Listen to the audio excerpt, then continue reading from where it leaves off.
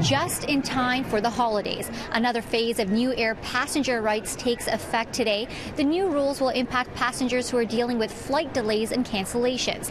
Federal regulators say they're hoping that these changes will make flying smoother for passengers, but one advocate says that passengers are now actually going to be shortchanged.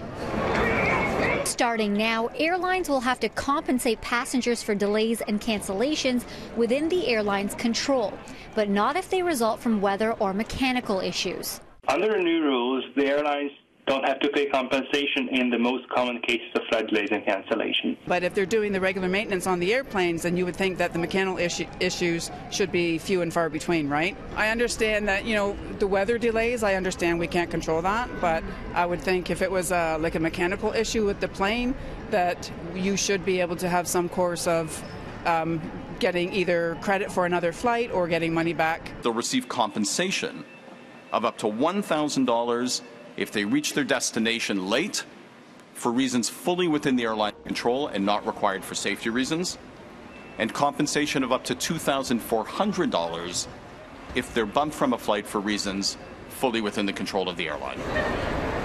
Getting that money could be tough, according to air passenger rights advocate Gabor Lukács. The rules rely on travelers filing complaints, and it's on them to prove that the delays were not mechanical or weather related evidence which is usually in the hands of the airline.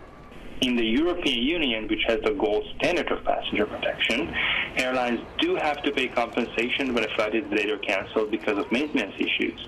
And it is the airline that has to prove the existence of extraordinary circumstances that might relieve the airline from paying compensation.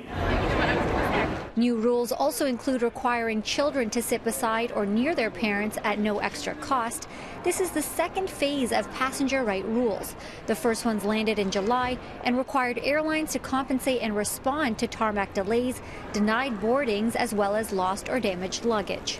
A recent CAA poll finds just over half of respondents haven't heard or read anything about new rules aimed at protecting travelers in tough situations. Federal regulators say in light of this poll, they will be focusing on public awareness of this new regime. For City News, I'm Aliha Sheikh.